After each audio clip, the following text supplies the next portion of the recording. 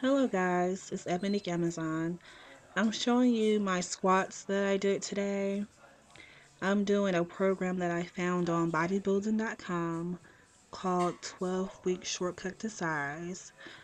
And I picked this program because the first phase, which is three weeks, it well, really the entire program, it deals with a, a lot of barbell work, free barbell work.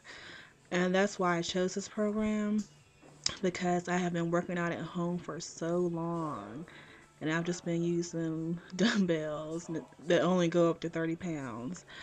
Um, so I joined the gym, I think last month, and I've been using this program to get used to um, all the beautiful things there are in the gym that you can't get at home.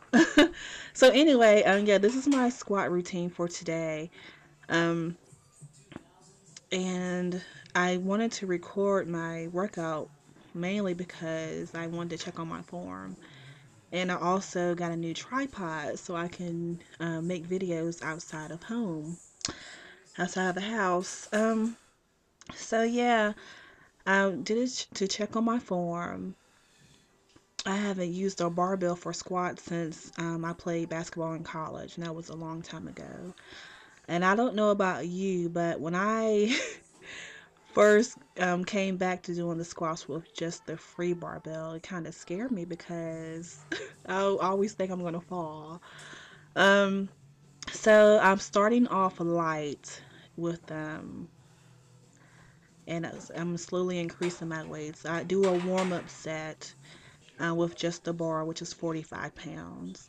And then I did three more sets with um, 95 pounds. Uh, when I did this on Monday, I um, I did 135, but I didn't go as low. So that's I still need to work on getting lower. Um, but that will come with time if I when I keep um, keep the the weights lighter right now and just improve on my form. So um, if you all have any suggestions, and let me know down below um, how I can improve my form.